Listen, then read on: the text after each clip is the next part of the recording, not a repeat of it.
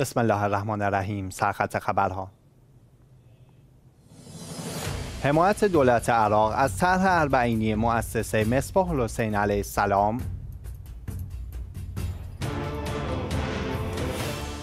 حضور کاروانی از شیعیان ترکیه در دفتر مجموع رسانه امام حسین علیه السلام در شهر مقدس کربلا.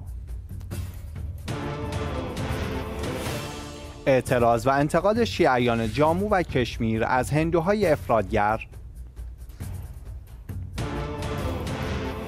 و انتقاد گسترده از چهره سرشناس الازهر به خاطر تبرک و بوسیدن کفش وی توسط مریدان.